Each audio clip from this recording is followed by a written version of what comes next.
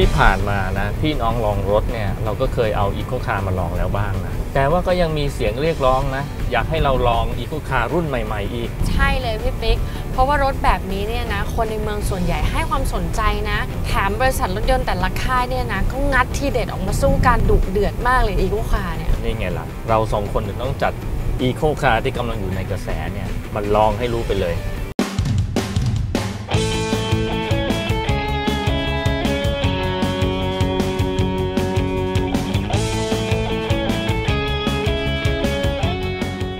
รที่กำลังสนใจ Suzuki Swift รุ่นใหม่นะครับ ห้ามพลาดชมตอนนี้เลยนะครับ เพราะเราสองคนพี่น้องเนี่ย จะลองกันทุกซอกทุกมุมของรถคันนี้เลย เริ่มจากภายในก่อนเลยปุ๊กว่าไง ภายในปุ๊กว่าเขาก็ชัดเจนกับความสปอร์ตของรุ่นนี้ดีนะอืมการเล่นโทนสีขาวตัดดำเนี่ย มันก็ดูเข้ากันดี ส่วนเบาะเนี่ยก็โอบกระชับดีนั่งสบาย แล้วก็แผงคอนโซลตรงกลางเนี่ย มันจะมีการเอียงมาหาคนขับนิดนึงทำให้การใช้งานเนี่ยสะดวกสบายดี พี่ปิ๊กว่าตรงมาตรวัดเนี่ยให้ความสปอร์ตนะอืมดูแถบสีแดงนะยิ่งแบบทำให้เรารู้สึกถึงความเร็วอ่าฮะ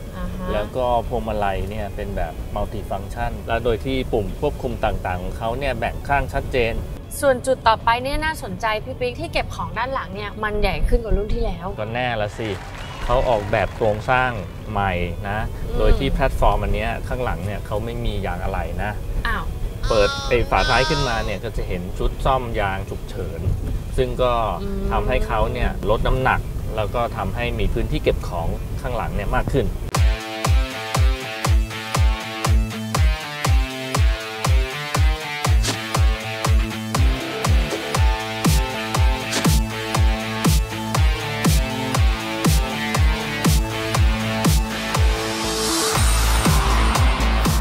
ขับมาสักพักหนึ่งแล้วปุ๊กรู้สึกยังไงฟีลลิ่งของการขับรถคันนี้เป็นไงบ้างปุ๊กมีความรู้สึกว่ารถคันนี้เนี่ยเป็นอีโคคาร์อีกคันหนึ่งที่ขับสนุกเพราะว่ามันคล่องตัว แล้วรู้สึกว่าน้ำหนักมันเบาอะ มันจะเลี้ยวไปทางไหนก็เลี้ยว แล้วก็พวงมาลัยเนี่ยตอบสนองดี แต่ว่าน้ำหนักของพวงมาลัยอาจจะเบาไปนิดนึง จุดเปลี่ยนที่สำคัญของรถรุ่นนี้เนี่ยนะหลังจากที่เขาพัฒนาเข้าสู่ Eco Car Phase 2เนี่ยอืมก็คือเรื่องของเครื่องยนต์เพราะเขาหันมาใช้เครื่องยนต์เบนซิน 1.2 ลิตร หัวฉีดคู่ Dual Jet ให้กำลังสูงสุดเนี่ย 83 แรงม้า อาจจะฟังดูว่าแรงม้าน้อยลงนิดหน่อย แล้วก็เครื่องยนต์มีขนาดเล็กลงนิดนึง แต่ว่ามันยังแรงแล้วก็ประหยัด จากผลทดสอบอัตราเร่งของรถคันนี้เนี่ย เราพบว่า 0 ถึง 100 กิโลเมตรต่อชั่วโมงเนี่ยเขาทำได้ในเวลา 13.4 วินาที อัตราเร่งยืดหยุ่นของรถคันนี้ที่ความเร็ว 60 100 กิโลเมตรต่อชั่วโมงเนี่ยเขาทำได้ในเวลา 7.4 วินาที ส่วนความเร็วสูงขึ้นที่เวลาเราเร่งแซงระหว่างเมืองเนี่ย 80 120 กิโลเมตรต่อชั่วโมงเนี่ย ก็ทำได้ 10.3 วินาที ถือว่าตัวเลขนี้เนี่ย สูสีใกล้เคียงกับเจ้าคู่แข่งเขาอย่าง Mazda 2 ถ้าเทียบกับ Swift รุ่นก่อนนะ ตัวเลขอัตราเร่งกับอัตราเร่งแซงเนี่ยดีกว่าเดิมในทุกหัวข้อเลย มาถึงหัวข้อช่วงล่างกันบ้างอืมเป็นหัวข้อสำคัญของการลองรถวันนี้เลยนะ Suzuki Swift เนี่ยมีความนุ่มนวล เหมือนรถอีโคคาร์โดยทั่วไป แต่ว่ามีความหนึบแล้วก็ขับสนุกเนี่ยพบว่าไง เห็นด้วยเลย ช่วงล่างมันเหนียวแน่นหนึบ แล้วก็ไม่ค่อยรู้สึกถึงแรงสั่นสะเทือนเท่าไหร่ ก็ถือว่าโอเคเลยนะ แล้วก็เมื่อเราดูที่ผลทดสอบเบรกของรถคันนี้นะ ที่ความเร็ว100กิโลเมตรต่อชั่วโมงเนี่ยแล้วเราก็เบรกจนหยุดสนิทเนี่ยเขาหยุดได้ในระยะทาง 42.2 เมตร หรือถ้าเกิดเทียบเป็นแรง G เนี่ยได้ 0.93 G ก็ต้องบอกว่าตัวเลขนี้เนี่ยหยุดได้สั้น ดีกว่าคู่แข่ง แล้วก็เมื่อดูสวิฟรุ่นก่อนนะ รุ่นนี้ก็หยุดได้ดีกว่ารุ่นก่อนด้วยซ้ำ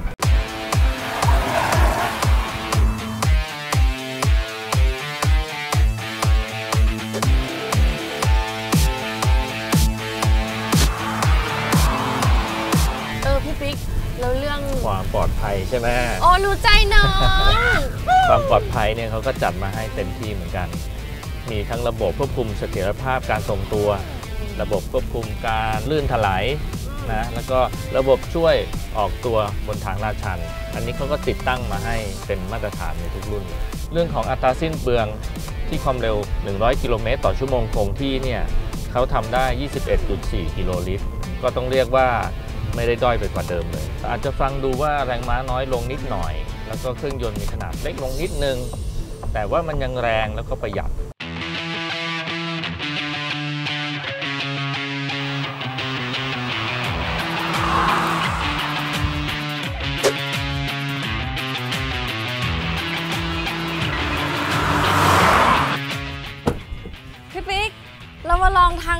ายในเครื่องยนต์ช่วงล่างครบและเรามาดูภายนอกกันบ้างดีกว่าปุ๊ว่ามันสปอร์ตดีนะอืมแล้วก็นี่ลายตัดสีแดงกับกระจังหน้าสีดำนี่มันจะดูจี๊ดจ๊าดขึ้นมาอีกหน่อยนึงอืมสะดุดตาด้วยไฟหน้านะ แบบ LED projector ที่มาพร้อมกับ daytime running light อืมแล้วก็นี่ปุ๊กมาดูที่เปิดประตูด้านหลังเนี่ยโอ้มันสีเดียวกับ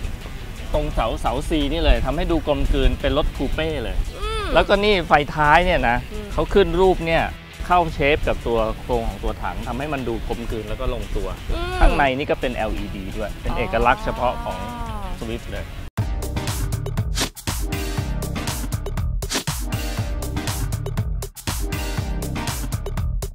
มาสรุปภาพรวมกันดีกว่าปุ๊กว่าอีโคคาคันนี้นะ โอเคเลยนะสำหรับภายนอกภายในช่วงล่างดีหมดเลย แต่ติดอยู่อีกนิดเดียวเอง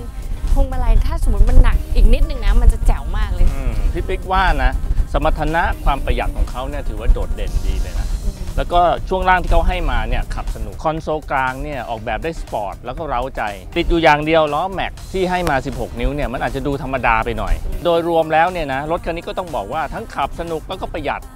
สมแล้วที่เป็นอีโคคาร์ที่หลาย ๆ คนรอคอย ครบเครื่องเรื่องรถนะคะ ตอบทุกจุดทดสอบทุกระบบเลยหวังว่าวันนี้คุณผู้ชมจะเต็มอิ่มกับรายการพี่น้องลองรถนะคะ ครับครั้งหน้านะครับอย่าลืมติดตามนะครับ ว่าเราสองคนเนี่ยจะลองรถอะไรนะครับสำหรับวันนี้เวลาหมดแล้ว สวัสดีครับ สวัสดีค่ะ